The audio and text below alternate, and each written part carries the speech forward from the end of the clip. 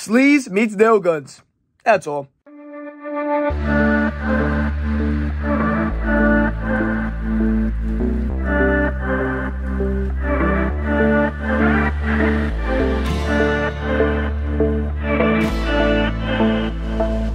Nail Gun Massacre was released and I have no clue when. The wiki says it was screened initially at a film festival in 86, IMDb says 85, Google says 87, and the wiki also says 87, so who the hell knows. Written and directed by Terry Lofton, who was a stuntman of Dukes of Hazzard, Nail Gun Massacre is a rape revenge story infamous for its home video run and its classic poster that kind of sold the movie itself.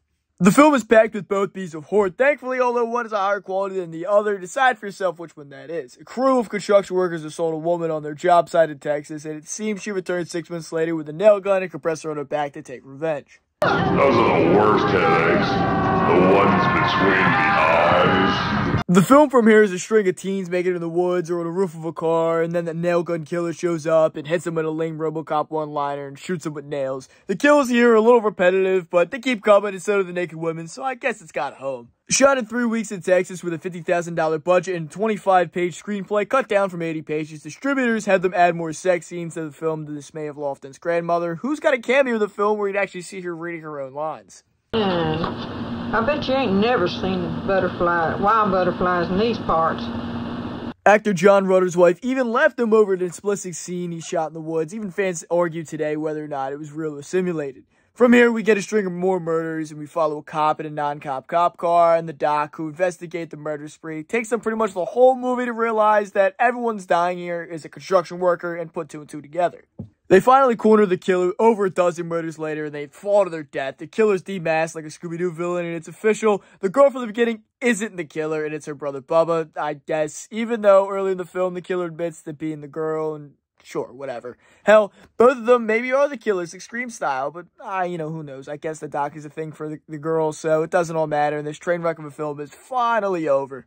Was it a bad movie? Yes. Was it still fun? I'd say so. It's a cheesy ass 80 slasher flick with a single gimmick used in every single kill, but it keeps rolling for the most part. At least it's not really boring, except for the five minutes the doc retells the film over the phone to a character we never meet and who never plays into the plot. It's a short movie, but at times it does drag. But it's just a film made by a man who wants to put a bunch of shit he likes to like nail guns, boobs, and country boys, I guess. It's a very amateur movie. People forget their lines and stumble over them a lot.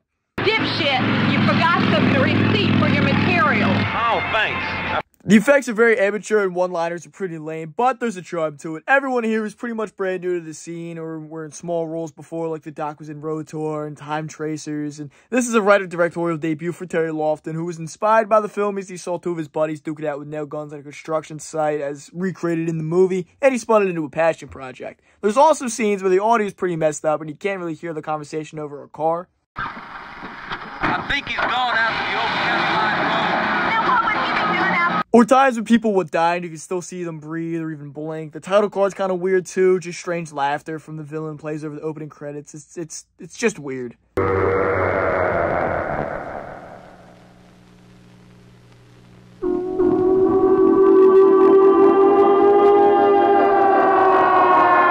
This, my biggest gripe with the film is the compressor makes no noise. You would hear the killer coming from a mile away with a backpack compressor like that. I don't think reason was taken into question with the film at all, but I guess maybe it's more of a CO2 canister, but it still bothers me. And also the idea that it's her brother was the killer just makes no sense because I mean, clearly the, the killer is a, is a female, has a female stature, uh, in comparison to what the brother looks like, I think, but, uh, whatever, what are you gonna do? Again, no reason was taken into question here.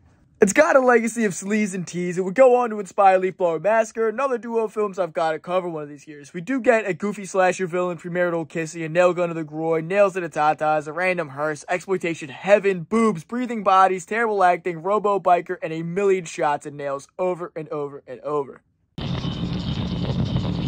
Well, you just pissed me off. The moon is right. This man's ready to howl. All, all you want to do is ride around that damn police car, you asshole. Thanks for watching. I hope you enjoyed. If you're not already, drop a little subscription down below. Make sure you stay tuned because every day in the month of October, I'm dropping a different horror movie review. Uh, I believe they come at 7 a.m. Uh, Eastern Time. And uh, so keep an eye out for that. And then every week, every other week uh, throughout October, there's a bonus comic video still coming up. I still want to make sure there's some combo content on the channel. And then throughout the rest of the year, there's combo content every single week, one to two times a week. Plus, I do the YouTube Shorts where I post stuff on there every day. I got the Instagram, I got the Facebook, I got the, the Facebook group Fandoms Unleashed where you get a behind the scenes look at the, the you know, whole channel, everything, Conner's Comics, the whole company, all that kind of stuff. So all, all that is linked down in the description below. And again, make sure you subscribe. Keep an eye out for updating daily videos. And uh, until next time, peace.